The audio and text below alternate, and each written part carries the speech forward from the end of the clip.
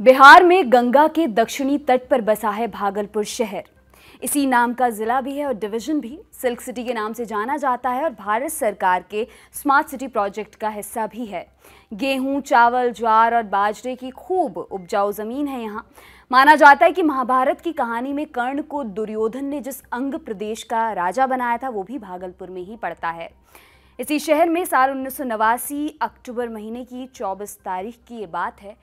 पतझड़ जाते जाते पत्तियों की सरसराहट छोड़ गया था। उनतीस साल की जमीला बीवी आँगन में झाड़ू कटका रही थी। घर के अंदर एक तीन साल की बेटी और दो साल का बेटा था। जमीला के शौहर मोहम्मद मुर्तज़ा कुछ काम से बाहर गए थे। दस बजे के आसपास मुर्तज़ा वापस लौटे। भागे भागे आए थे। माथे पर शिकन और चेहरे पर पसीना। जमीला के कुछ कहने से पहले ही मुर्तज़ा बोले, दंगे हो गए हैं, बच्चों को पकड़ो और भागो। जमीला ने मुर्तज़ा की सुनी और पूरा परिवार घर छोड़कर निकल गया।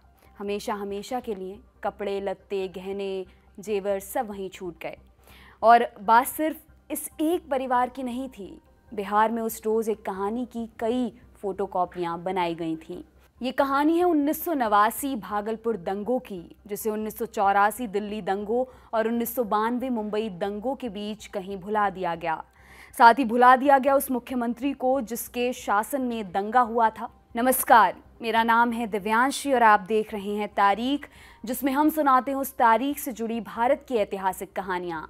आज 12 जुलाई है और आज की तारीख का संबंध है भागलपुर दंगों के दौरान बिहार के मुख्यमंत्री रहे सत्येंद्र नारायण सिन्हा से।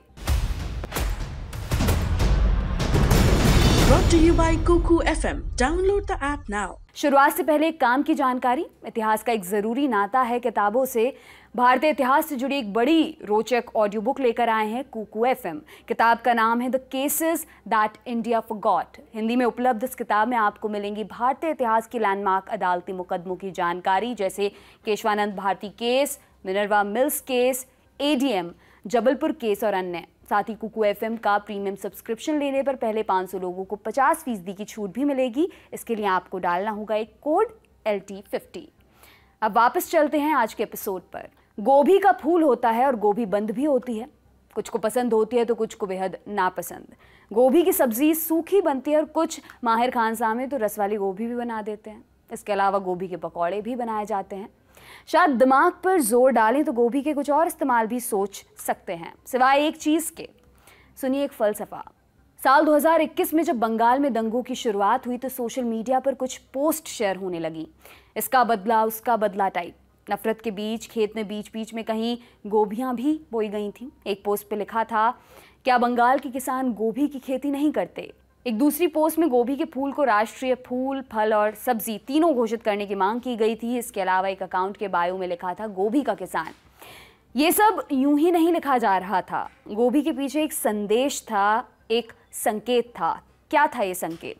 इसके लिए हमें थोड़ा पीछे चलना होगा। साल उन्नीस नवंबर महीने की ये बात है। बिहार के भागलपुर ज़िले में लौगाएँ गाँव पड़ता है। उस रोज़ इस गाँव में एक खेत खोदा गया। खेत में लहलाती गोभी उग रही थी, लेकिन खेत गोभी के लिए नहीं खोदा गया था। वहाँ छोटे छोटे लाल रिबन निकले थे। बच्चों के बालों में लगाए जाने वाले रिबन। रिबन के साथ सर भी थे और शरीर भी। कुछ और जगहों से भी लाशें निकल रही थीं। कुल 110 लाशें थीं। इनमें बावन छोटे छोटे बच्चे थे। लौगाएँ में 25 परिवार रहते थे। चार हज़ार की दंगाई भीड़ ने लगभग सभी को मार डाला था। पहले लाशों को एक तालाब में डाला गया। जब लाशों की बदबू तेज होने लगी तो उन्हें निकाल कर अलग अलग जगह गाड़ दिया गया। कुछ को एक खेत में दफना के ऊपर से गोभी के बीज डाल दिए गए और ये ये मंजर सिर्फ़ नौगाएँ का नहीं था। दो महीनों तक भागलपुर में चले इन दंगों में हज़ार से ज़्यादा लोगों की जान चली गई थी और ये आंकड़ा भी सिर्फ़ सरकारी है। तो कैसे हुई थी दंगों की शुरुआत?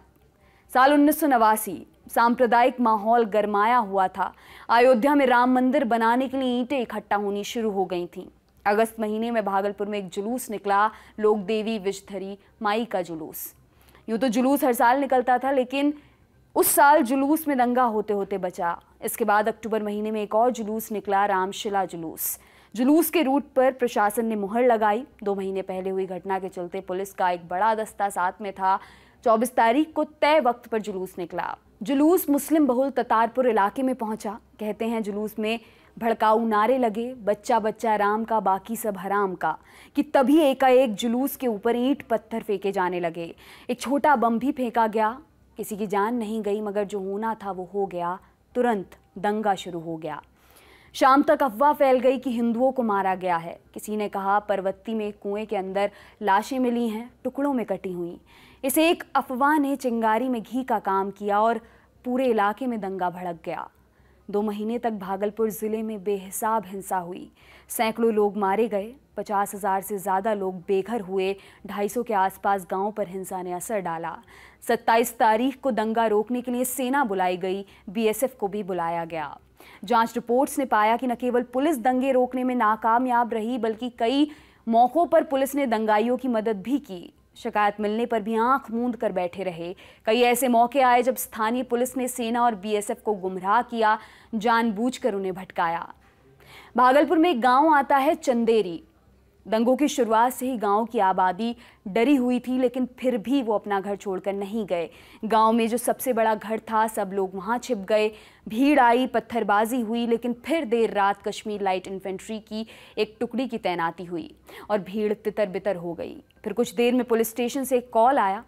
उन्हें दूसरे इलाके में दंगों की खबर मिली। जैसे ही सुरक्षा बल चंदेरी से गए, भीड़ दोबारा इकट्ठा होने लगी। जावेद इकबाल फ्रीलांस रिपोर्टर हैं। न्यू इंडियन एक्सप्रेस अखबार और आउटलुक मैगजीन में लिख चुके हैं। भागलपुर दंगों के बारे में बताते हुए वो लिखते हैं 27 की सुबह लोगों की भीड़ इकट्ठा हुई और चंदेरी में लगभग 70 लोगों को मार डाला गया। भटोरिया में पिचासी लोगों की हत्या हुई, रासलपुर में करीब 30 लोग मारे गए। भागलपुर में दंगों का एक लंबा इतिहास रहा है, लेकिन उन्नीस सौ नवासी के दंगों में खास बात ये थी कि इस दौरान गाँव में हिंसा की घटनाएँ ज़्यादा हुई थीं। बहरहाल दंगों के बाद सरकार हरकत में आई। मुख्यमंत्री सत्येंद्र नारायण सिन्हा, जिनका जन्म आज ही की तारीख, यानी 12 जुलाई 1917 को हुआ था, दंगों के दौरान दिल्ली में डेरा डाले हुए थे। बाद में सिन्हा प्रधानमंत्री राजीव गांधी के कहने पर लौटे और मोर्चा संभाला। हालाँकि तब तक काफ़ी देर हो चुकी थी। राज्य सरकार ने बाद में इन दंगों की जाँच कराई। जाँच भी दो बार कराई गई। पहली जाँच जस्टिस रामचंद्र प्रसाद सिन्हा और एस शमसुल हसन के नेतृत्व में हुई। इस रिपोर्ट ने सांप्रदायिक संगठनों और मीडिया के कुछ धड़ों को अफवाह फैलाने का दोषी पाया। कहा गया कि प्रशासन बिल्कुल नकारा साबित हुआ। ऐसा लग रहा था कि लोगों की मौतों से पुलिस प्रशासन पर कोई फ़र्क ही नहीं पड़ रहा है। ये सवाल भी किया कि सांप्रदायिक तनाव की आशंका के बावजूद रामशिला जुलूस को ततारपुर से गुजरने की परमिशन क्यों दी गई? इसके अलावा जिला प्रशासन के भी कई अधिकारियों को प्रशासनिक चूक का जिम्मेदार ठहराया गया। इसके बाद एक और जाँच हुई जस्टिस आर एन प्रसाद की अध्यक्षता में। उनकी रिपोर्ट में भारत के मुसलमानों के लिए नसीहत थी। लिखा था कि अगर आप चाहते हैं कि हिंदुस्तान के लोग आपके ऊपर फिर से भरोसा करें तो आपको आईएसआई एजेंट्स के साथ अपने संबंध तोड़ देने चाहिए। दो महीने तक ये दंगा चलता रहा। इसके बावजूद जस्टिस प्रसाद ने प्रशासन को क्लीन चिट दे दी। इन दोनों ही रिपोर्टों में मरने वालों की संख्या का ज़िक्र नहीं किया गया था। इन दो रिपोर्ट्स के अलावा एक तीसरी थ्योरी भी दी गई। भागलपुर में उस दौर में कई गैंग सक्रिय थे। सबसे मज़बूत तीन गैंग थे माधो मंडल गैंग, कामेश्वर यादव गैंग और रामचंद्रा रमन गैंग। आरोप लगा कि इन गिरोहों ने दंगे की साजिश रची। मुसलमानों की तरफ़ से भी कुछ गैंग थे, एक था अंसारी गैंग। गिरोहों में भी हिंदू मुस्लिम की स्थिति थी। उस समय भागलपुर में खूब गैंग वॉर हुआ करता था। दंगों का एक असर ये हुआ कि बिहार से कांग्रेस का सफाया हो गया। मुख्यमंत्री सत्येंद्र नारायण सिन्हा बड़े कद के नेता थे, लेकिन दंगों के बाद उन्हें अपने पद से इस्तीफा देना पड़ा।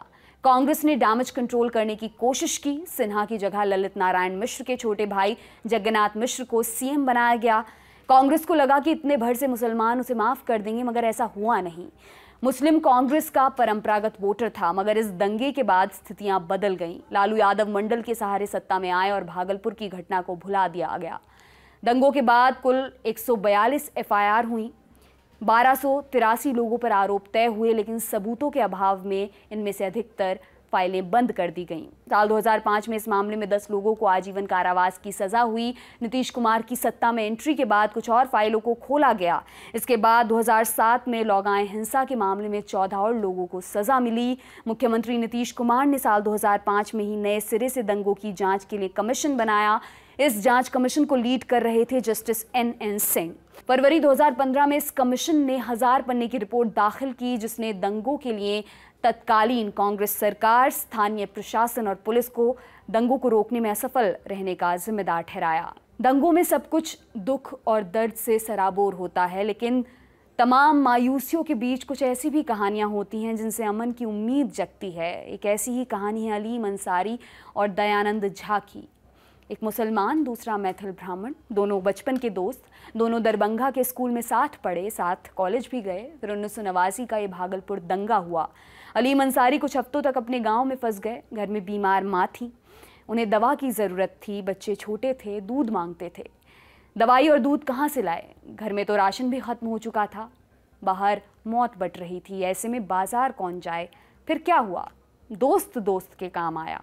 करीब एक महीने तक दयानंद झा रोज़ाना अली मंसारी के घर पहुँचते, राशन और बाकी ज़रूरी चीज़ें लेकर लोगों ने उन्हें भी धमकाया, ताना दिया, कहा, मुस्लिम की मदद करते हो। दंगे के वक्त जब मज़हबों की जंग हो रही होती है, तब दूसरे मज़हब के किसी इंसान की मदद करने वाला अपने मज़हब का आदमी भी दुश्मन बन जाता है। मगर दयानंद झा पीछे नहीं हटे, पूरी दोस्ती निभाई। इसी पॉजिटिव नोट पर एपिसोड को ख़त्म करते हुए विदा लेती हूँ। अब आपसे कल मुलाकात होगी अपना और अपनों का खूब ख्याल रखिए। शुक्रिया।